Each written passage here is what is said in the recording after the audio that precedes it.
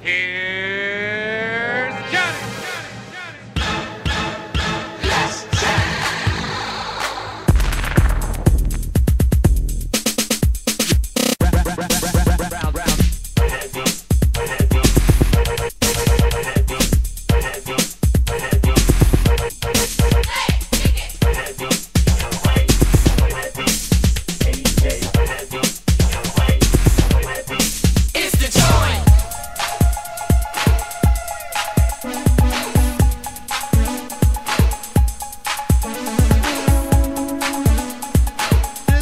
part of this song you got to watch, ladies and gentlemen.